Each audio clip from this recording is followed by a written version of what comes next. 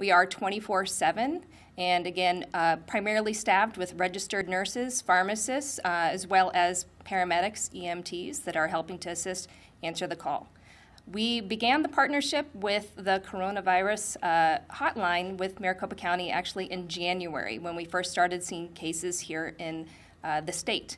So since then, we have actually received over 15,000 calls to the Banner Poison and Drug Information Center, uh, of which uh, many of those were uh, medical in nature. 211 began the par- partnership with the coronavirus line or COVID 19 hotline in early March, and so we've had a working relationship with 211 for a long period of time.